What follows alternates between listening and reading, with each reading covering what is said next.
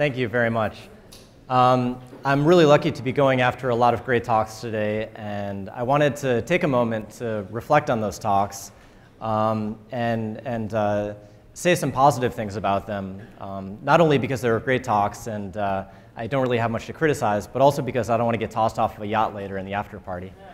Um, but uh, anyway, I, I, did want to say something about those, uh, those discussions where um, Dr. Nick started off this morning um, talking about how the tools that we're using often shape the, uh, the concepts that we have about our, our applications.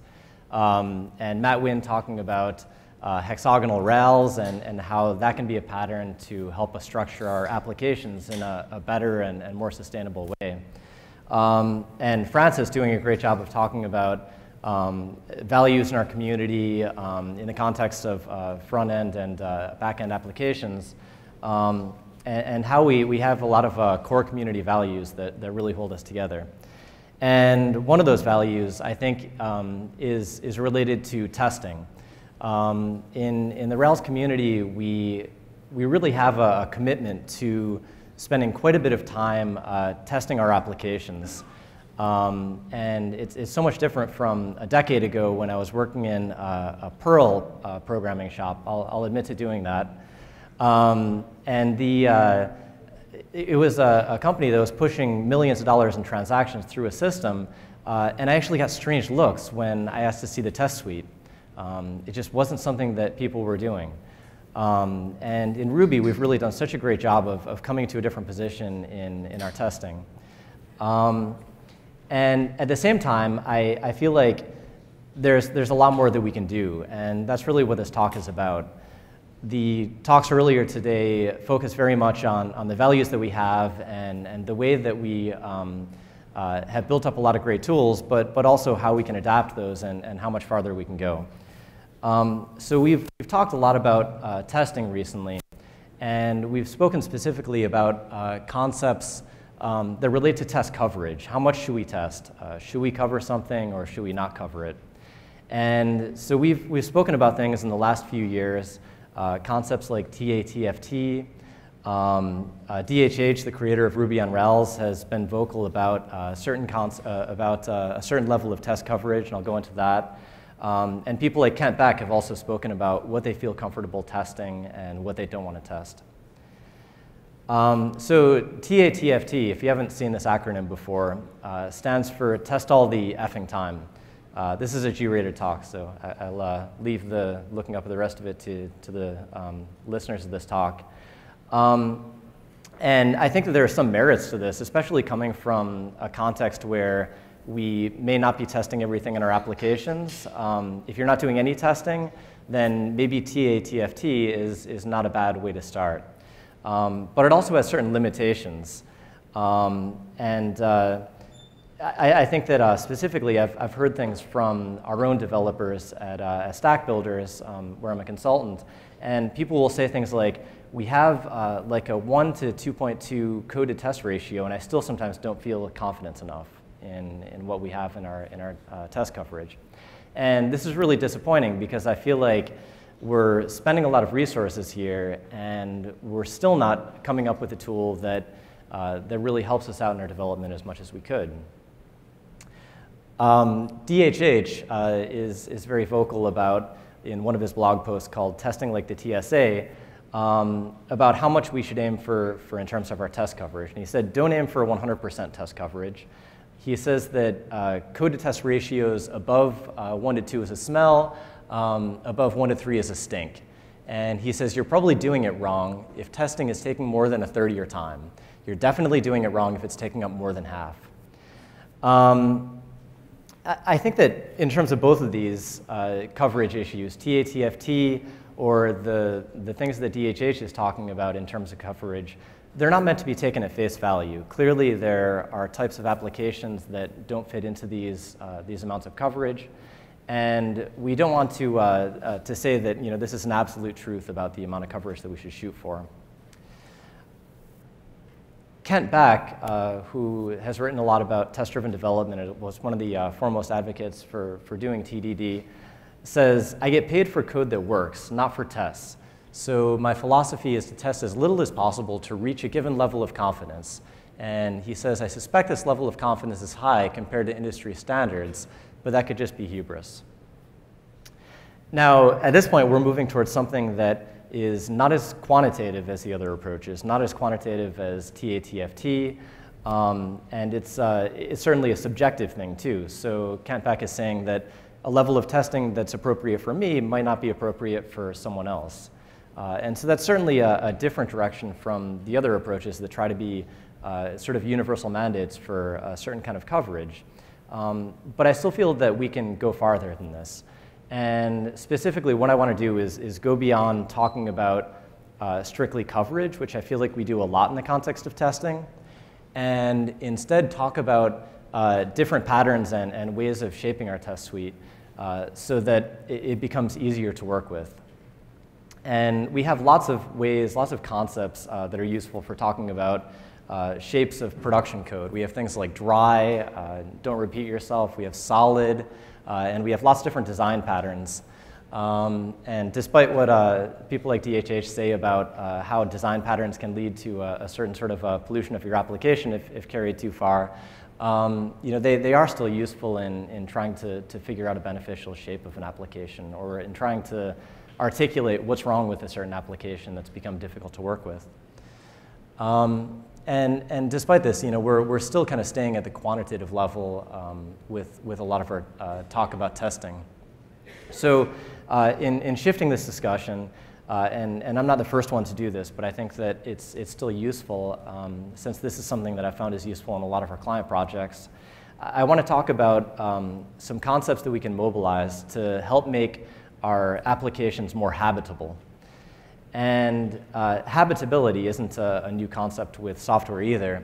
And in fact, there's a, a book by Richard Gabriel uh, called Patterns of Software, Tales from the Software Community. And he says, habitability is one of the most important characteristics of software. It enables developers to live comfortably in and repair or modify existing code and design. And I think that this is really something that we can shoot for not just in production code, um, but with our, our test coverage as well. Uh, like I said, there are lots of cases that I've seen where we have a high degree of coverage and a low level of comfort, um, or also, of course, uh, a very sparse uh, test coverage and, and, little comfort there too. Um, so what I want to do is, is build concepts in order to, um, uh, to move us forward in, in uh, organizing our tests in better ways to make them more habitable. And I want to think about uh, what concepts we have right now. And I think that it's, it's important to realize um, that the, the concepts that we have about test coverage are always going to shape uh, the, uh, the, the, way that they, um, the way that they're written. And uh, Dr. Nick mentioned earlier that um, the, the tools that we have shape the way that we think, but there's also a, a concept that we have that, that shapes the tools, right? Uh, every single tool that we use uh, has a certain kind of concept that, uh, that has been behind the, uh, the design of that tool. And, and then that in turn affects the way that other people are using it and the concepts they have about their code. Um, and, and in the context of development, we focus so much on this notion of coverage that a lot of times that's our concept. You know, we need a test here, we don't need a test here. Um, so going beyond this, I've, I've thought about uh, a notion of Cupid, and I think that we need to show our test some love. And so in the tradition of um, things like SOLID, I'm, I'm, trying to create an acronym uh, with concepts that uh, aren't entirely my own, but which I think are useful in, in creating uh, sensible tests. Uh, so I'm going to go over the acronym first, and then I'm going to go over some examples um, before we open up the floor to discussion. The first uh, part of the acronym that I want to discuss is C, and uh, uh, this stands for consistent distance. And so in our test suites, we have things that we call acceptance tests um, that, we, that are often end-to-end -end, and integrative. And in these tests, we don't want to stub. Um, they should be uh, interacting with the system like a user would. So that could be clicking around in a browser, uh, clicking around in a graphical user interface. Um, and that's the way that, they, uh, that we should be interacting with the system. We also have unit tests, which try to isolate a specific module or class that is under test. Um, and the goal of this in a book uh, that uh, Matt referenced earlier called um, Growing Object-Oriented Software Guided by Tests, or the Goose book, as you refer to it. Um, and I'm not going to go into that uh, too much in, in, this presentation because he already talked about it some and because it sounds a lot better when it's done with a Scottish accent. Um, but uh, I, I, think that it has a lot of great ideas. And one of the things that uh, Matt called out is that it talks about the fact that the important thing is not so much the content of our classes, but the relationship we have with other classes and with our units test. Um but the notion of consistent distance uh being carried further, I think means that in things like acceptance tests, we shouldn't be going under the covers and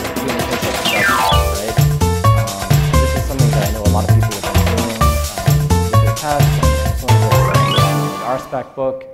Um, but still, I see a lot of this happening, uh, especially with, uh, with tools like VCR. Um, but I'll, I'll come back to that in a moment. I, I think that largely our tests should be unstubbed. And part of this relates to making the dependencies of our classes explicit. Going back to this concept in, in the Goose book of um, driving out the relationships between classes. And uh, I think that when you use things like mock objects instead of stubbing things on a, a particular class, uh, these relationships become a lot more clear. Um, there's a, a, kind of a, an addition to this rule uh, that says that you shouldn't stub anything that isn't yours. Um, and I think that also goes under this concept of um, trying to make your tests unstubbed.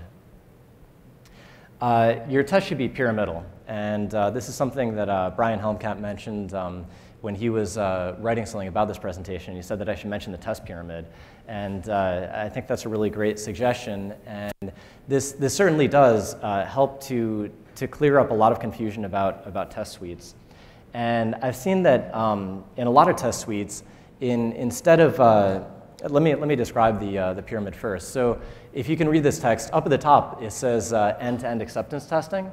And so this should be like your, your feature tests um, and tests at that level that relate to your system by the, um, by the interfaces. So by the uh, graphical user interface, by a web browser, um, and on the other side, uh, in terms of the services that you're connecting to.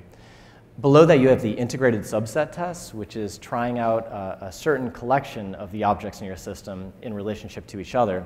And down in the foundation of the pyramid, you have the unit tests. And the unit tests, uh, it's very important to emphasize, um, are the, the foundation of the pyramid. So there should, be, there should be more unit tests proportionately to the tests that you have um, at the acceptance level. And if you look at most of the books on, on testing, they'll talk about this testing cycle. And I think that a lot of us are doing this, but um, with a focus on, on BDD and, and doing things at the acceptance level, I think that maybe some of the gist of it might be getting lost. Um, you should generally be writing something like an acceptance test first, and then iterating on a, and then watching that fail, and then iterating on a feature um, primarily by creating unit tests um, until you reach a point where the acceptance test is passing. And if you do that, you'll almost naturally have a, a, sort of a distribution like this, where you created your one acceptance test and you created a bunch of lower level tests to support that. Um, and that's going to help you in a bunch of different ways. The, the acceptance tests are generally very slow because they're fully integrative. Um, and, and they're also less specific. So if you get a failure at an acceptance test, how do you figure out where that is? you oftentimes look at a, a, red dot on the screen and you say, well, that's great. It's either in this component or you know, maybe 12 levels down, right? Um, and, and that's kind of a, a, painful thing to dig through a lot of times. So in, in contrast to just using these acceptance tests uh, and having a high degree of acceptance tests, um, you try to create unit, unit tests for more of a specificity of, of diagnosis of um, error conditions. Uh, your test should be idempotent. Um, so they should always pass regardless of order. Um, and your test should also not have side effects. Uh, now, this is, uh, this is something, uh, idempotency is something that's important in computer science and, and very important in testing.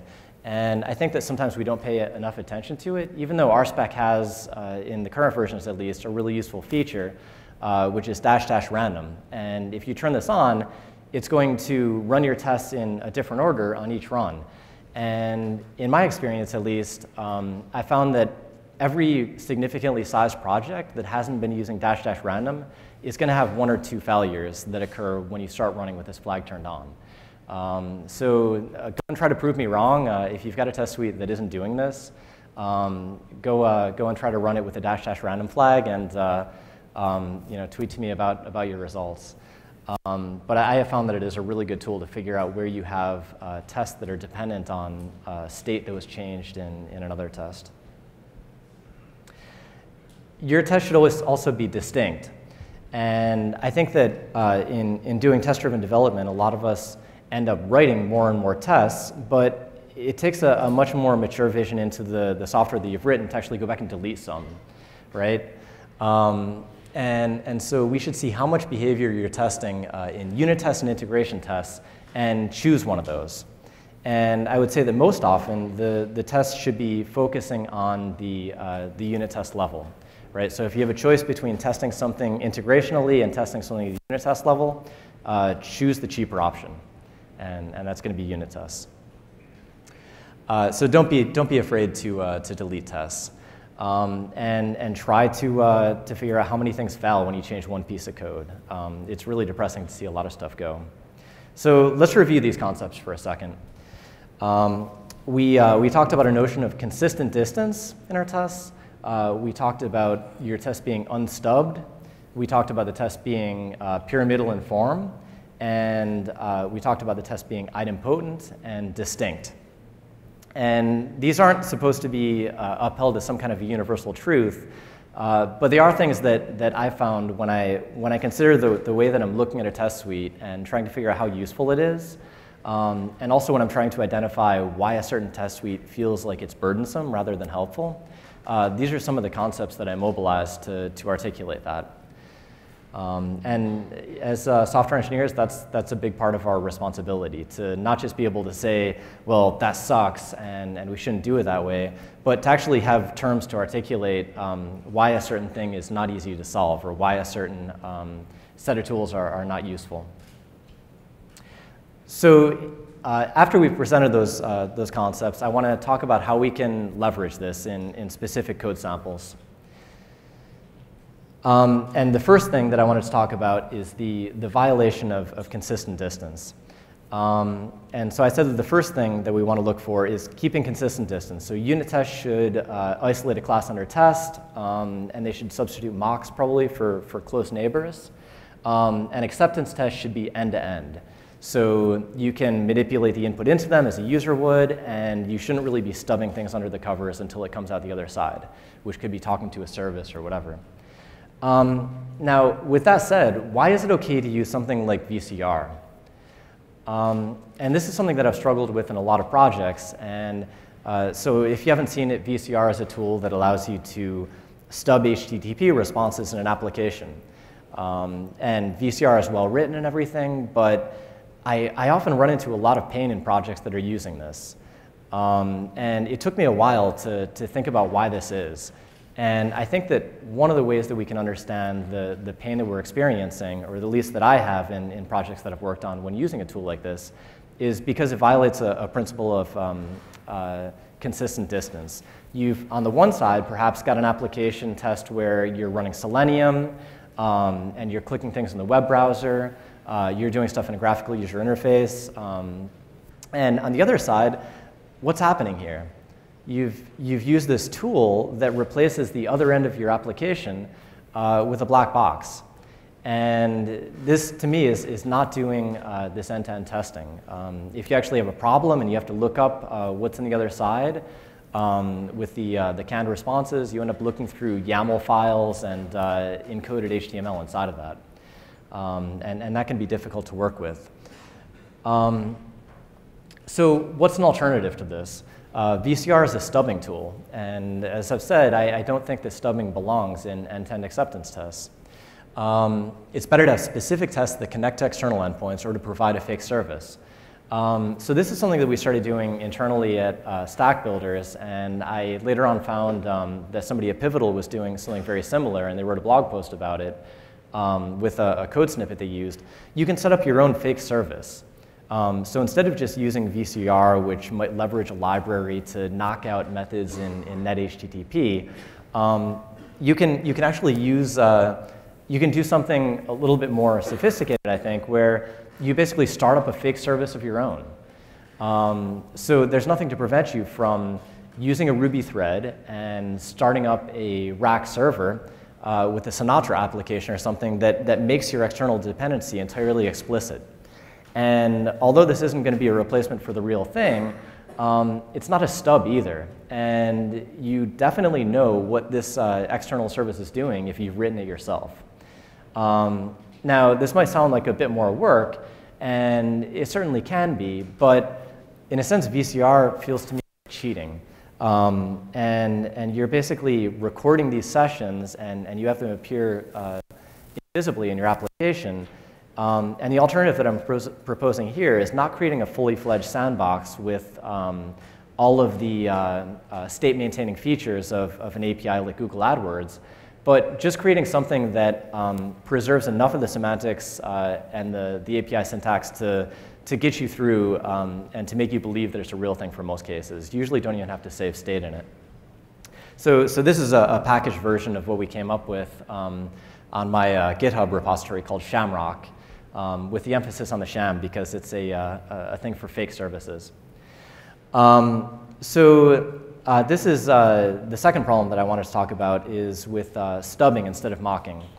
And in this example, um, and I'm very sorry about the, uh, the low contrast between a couple of those colors there, um, but basically uh, what's happening here is that you have a, a class that you're, you're passing, a balance calculator class, and internally, it's going and it's retrieving a few accounts. Um, and on those accounts, it's going to calculate the balance. Um, these two lines here are doing stubs, uh, where you're saying, don't actually call that method, um, just return a few hard-coded accounts. Um, and then you're saying the balance should be uh, $30 or whatever. Um, now, this is, uh, I, I, think, an overuse of stubbing. Um, these methods, like retrieve account info and retrieve account type, um, may actually be private methods, in which case you shouldn't touch them, right?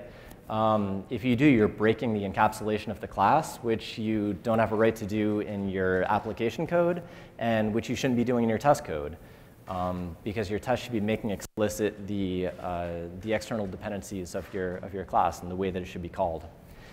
Um, and uh, so we can think about some other options of, of doing this instead of just stubbing out the, the methods inside of the class. Maybe we can pass the accounts to the initializer or something like that. Um, but oftentimes what we want to do is to use mock objects instead. And so I think that uh, mock objects are, are really underused, especially when we've got great frameworks like uh, RSpec that make things like stubbing and, and mocking on um, existing classes so easy. Um, and you know, you don't find bugs with those anymore, um, and they really help out to, uh, to just stub you know, a, certain method on a particular class. But the benefit, which is using a mock object, um, is that you can be very explicit about all the methods that it responds to, and you can say this is exactly um, the kind of interface that the, uh, the classes you're passing to this thing should have. Um, so I, I, think that uh, stubbing leads to, can lead to complex test setup, um, and it doesn't help you to make your dependencies explicit enough. Um, the, the other thing that I want to talk about is uh, um, stubbing things that you don't own, right? And I mentioned that you shouldn't uh, stub things that you don't own. And this is an example of that. This is actually from Shamrock, uh, the utility that I mentioned to use fake services instead of using something like VCR, which just uh, stubs out HTTP responses. And as I said, it basically just starts a rack application that is going to um, uh, be in a separate Ruby thread, and your test suite is just going to, your application is going to call that other thread um, as your tests run. And so this is all it takes. Uh, you do a thread new, and you say a rack handler or WEBrick or Mongrel or whatever, and you say run uh, with a rack application that you give it. And if you haven't created a rack application before, it's very simple. It's just something that responds to call. So it can be a proc, and then you return back um, some kind of a response. And, and so that's all there is to it. And that can be a Sinatra app too or something. Um, and uh, so the, the problem here is what do you do if you're going to uh, try to run this in a test? uh, all of a sudden you've got a stub, like you can stub rack handler WEBrick dot run, right? You can do rack handler WEBrick uh, dot stub run and return whatever. Um, and it makes the, the test a little bit stranger to write, and you're also coupling to a specific implementation of an external dependency. Um, so what can you do instead of this? Uh, one of the things that you can, uh, you can certainly do is to use dependency injection. And this is something that people talked about maybe a lot more in Java because it was tougher to do there. And you needed to have things like um, uh, frameworks to, to help out with this. Um, but instead of stubbing the rack handler WEBrick, you can just pass it into the initializer, right? And that way, one of the benefits is that your tests become, uh, it's much easier to use a mock object in your test rather than having to stub something that isn't yours. Another side benefit is that your code becomes less coupled, and it makes it much easier for somebody else using your library to pass in a different kind of handler if they need to. So don't be scared of dependency injection, and it helps out in a lot of cases, especially in testing.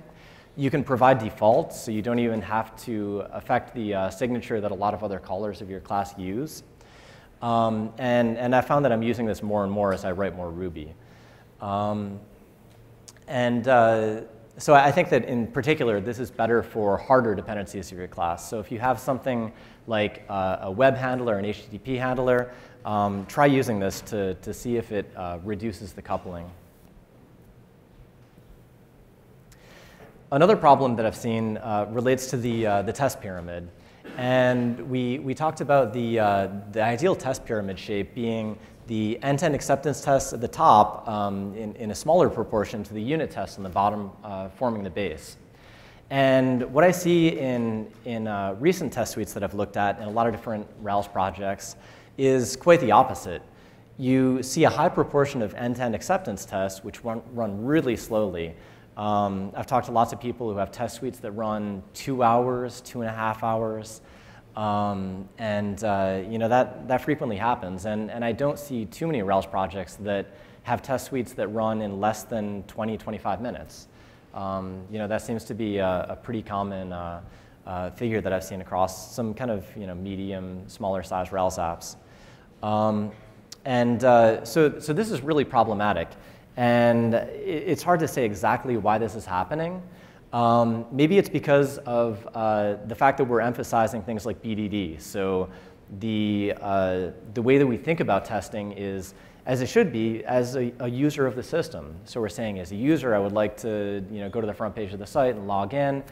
And that's kind of become our, our default language for talking about testing. And so we end up writing a lot of these, uh, these acceptance tests that, that take this shape and emphasizing those rather than unit tests that interact with the system at a lower level. Um, maybe it relates to the fact that JavaScript is hard to test integratively, as, uh, as people have mentioned in these talks today. And uh, it certainly is. You know, we've got things like Jasmine and other frameworks to test strictly the, the JavaScript compo component of our applications. But when we actually try to test that integratively, we don't really have a great way of doing that except with something like Selenium and, and using our um, integrative test suites. Um, and, and so the, the end result is that a lot of times we end up getting stuck on this uh, end-to-end acceptance testing level and not getting enough unit tests. And this makes our tests run longer and longer, and it makes them less useful because when something breaks, you don't know in what level that's occurring. Um, so the, the answer to this is to kind of reverse it and, and, to say when you've got an option, make a unit test instead of an acceptance test and try to turn this around.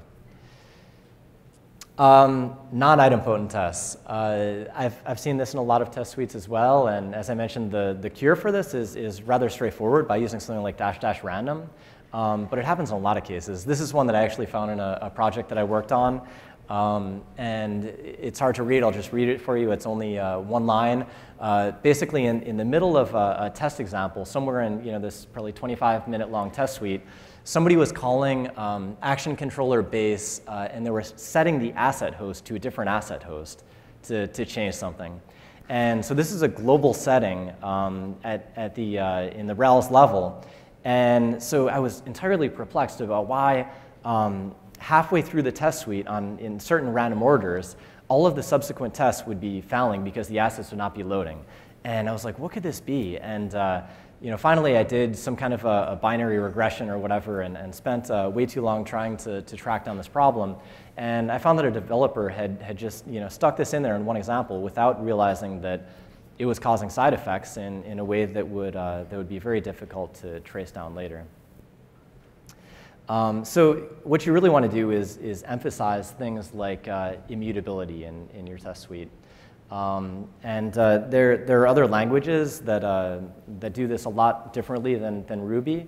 Um, I've been doing a lot of uh, Clojure in my spare time, and uh, not as much for client work, but uh, in a language like Clojure, it's going to make this harder to do, right? You've got to be very much more explicit about um, when you change a, a value that's, uh, that's global, um, and that could affect the results in other parts of your program.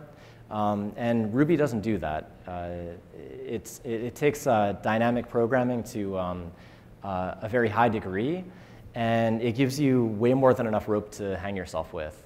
Um, and uh, for better or for worse, that's, that's what we're dealing with. Um, and it's a great language, but uh, it, it, puts more responsibility on the programmer.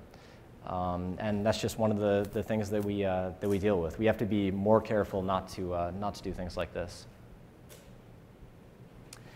Uh, another issue that, uh, that I mentioned is, is duplicate coverage. And I have a quote from one of the developers on our team, uh, Alexander de Oliveira. And he said, In a project that I worked on, one single bug caused 124 tests to fail. I was so perplexed that I couldn't figure out from which, bri- uh, which bridge to jump from. who's been in that situation? Who's, who's seen like a, a single bug that just like totally um, totally blows your mind when you change one line of code and all of a sudden you've got a screen full of red, right? Uh, this, is, this is really demoralizing. And um, uh, instead of becoming a habitable environment, um, what we're finding is that the, uh, the tests really become hostile. Um, you know, they're not, they're not helping you anymore. They just make you not want to touch anything, right? And, and this is exactly the, the wrong direction to go in. So uh, why, why is this whole testing thing so difficult? Um, we, uh, there's a, a, quote that I found from uh, Gerald Sussman, who uh, is one of the, the original um, teachers from the uh, MIT SICP course. And he said that uh, the world is messier in general. there are massive amounts of data floating around, and the kinds of problems that we're trying to solve are much sloppier. And the solution's a lot less discrete than they used to be. Um, and, and that's very much the case in, in production code uh, as well as in, in our application code. And so if you're working on something like Project Euler, you know, just solving these um, uh, discrete uh, problems in math without external integrations, um, unit tests are the easiest things to write, you know, and, and I couldn't think about doing exercises like that without creating unit tests because they just make me go faster. Um, but then you get into a world of, of mixing uh, JavaScript and, and uh, Ruby in applications, um, connecting to external services that you just want to wish away with uh, using something like VCR. Um, and uh, you have problems with all, all these uh, real world problems that just really complicate the, uh, the situation for, for your tests. Um, and you know, the, so that's, that's uh, I think, one of the things that, that makes testing so difficult because you have all the problems of the integrations in production code, um, and it's just amplified when you're actually trying to integrate against your code that's integrating against the rest of the world. So uh, going back to the, the book that uh, uh Matt Wynne mentioned, um, and this is really a, a great resource. Um, the, the fact that it's written with Java examples shouldn't hold you back from looking at it. Um, they're really not that uh, tough to approach. Um, they say in that book, we regularly reflect on how well TDD is working for us, identify any weaknesses, and adapt our, our testing strategy. And I really think that based on what I've seen in a lot of projects that I've worked on over the last few years, um, that we have a lot of great ideas in testing, and we have a community that is much more vocal and much more adamant about adhering to, to strong testing practices um, than perhaps in, in any other language. Um, and that's something that we can really be proud of, and I think it's really helped out the, the quality of our, our applications. Um, but I also think that we can improve it, and, and my suggestion for improving it is to think about different concepts rather than just strict coverage. You know, trying to mention something like Cupid, um, and if Cupid doesn't work, uh, throw that out and, and build different concepts. So in, in closing uh, this presentation, I just wanted to say that uh, sensible testing to me is reflexive. And in, in software, we build three kinds of tools. We build tools for our clients, we build these web applications, or we build these tools for our full-time employers. Um, we also build tools that help us to build these things. Um, and uh, that's the, the kind of tool, I guess, that, uh, that Dr. Nick was talking about with deployment earlier. Um, there are tools like RSpec or whatever we're using for writing our tests. Um, and, and we also build concepts. Um, and the, uh, the concepts that we build are what I've really tried to focus on in, in, this, uh, in this presentation. They're, they're not things to be held up as a, a, sort of a platonic ideal. They're not things to be passed down from an ivory tower to say this is a blueprint for the way that you should write your application no matter what it does. Um, but they're thinking tools that we can adapt uh, in order to solve particular problems that we have. And uh, I, I, think that uh, in, in closing, I just wanted to, to ask you what concepts you're mobilizing in, in your testing. And are they the ones that you're happy with, or, or can we improve them and change them? Thank you.